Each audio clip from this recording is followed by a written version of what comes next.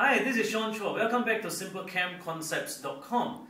Now, I'm in my training room in Waterloo Center, and today I'm going to discuss with you on how to write an ionic equation 100% of the time, uh, making sure that every time you do it, you get it correct. Now, there's basically a series of steps you need to go through writing an ionic equation, and after knowing that, it becomes very, very simple for you. Let's take a look at what are the steps you need to follow. Alright, it's all shown on the board over here. Uh, step one, you need to have a balanced chemical equation. Make sure your chemical species, whether reactants or products, the chemical formulas are correct. And after which, of course, you must be able to balance the chemical equation. Once you make sure that the balance, uh, the chemical equations are balanced, then you need to insert in the correct state symbols. How many types of state symbols are there? In chemistry, there are four. Solid, liquid, gas, and aqueous. Alright, these are the four state symbols and you must be able to insert it correctly into the equation. Now in step 3, you then choose the aqueous species, as you can see in red here. Those, whether reactants or product, they are in aqueous states. Uh, what you do is you split them into its ions. Alright, you split them back into its ions. And in step 4, you just cancel the ion or the ions uh, that appears on both sides of the equation. And ta-da! Last step, you will find your uh, the equation uh, and it must be correct. Okay? Uh, let's take a look at an example over here on the other side of the board.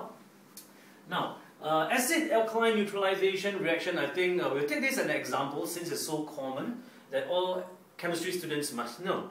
Uh, so we have hydrochloric acid react with sodium hydroxide and as you all know, uh, they form a salt known as sodium chloride and water as the other product. So what happened, as we say before, we make sure that the chemical uh, formula of each of them is correct, in this case they are, and then we check whether the equation is balanced. Alright, the equation is balanced over here, you can verify again. And next, we put in the state symbols, in this case is given. Uh, acid and alkali, they're all aqueous. The salt that is made, this salt, sodium chloride is soluble in water, so it's aqueous and the other product is water. Water is liquid. So what you do in the next step, which is step 3, is to split the aqueous species. Right? Split the aqueous species that you have into its ions. Let's take a look at how we split them. So for hydrochloric acid, you then form this.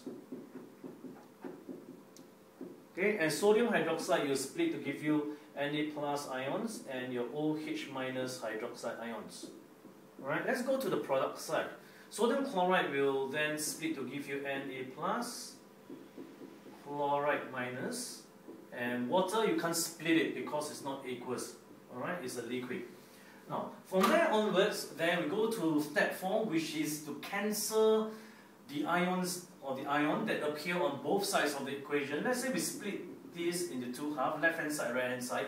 You realize over here sodium appears on both sides as well as your chloride ions. So you cancel them out. And after you cancel them out, then you will get your ionic equation. Okay, so in this case the ionic equation will become H plus aqueous plus OH minus aqueous and it gives you water as the product. Okay, so this is how we get ionic equation. Hope you're enjoying yourself.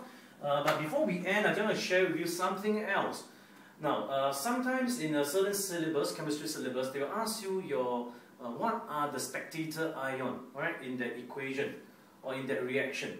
So what is spectator ion? Spectator ion is formally defined as ions that's not taking place in that reaction. And uh, in terms of our strategies here, it basically means those ions that appears on both sides and are the ions that you cancel off uh, in step 2 over here. Alright, so your spectator ion in this case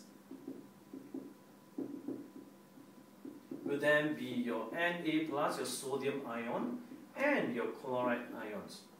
Alright, uh, hope this is useful to you uh, and you learned something important for ionic equation and spectator ions. Again, it's very important because it's linked to all other topics uh, whenever they ask you to write an equation. Okay, uh, welcome uh, back to simplechemconcepts.com to learn more on chemistry tips and exam-based discussions. Take care and good day.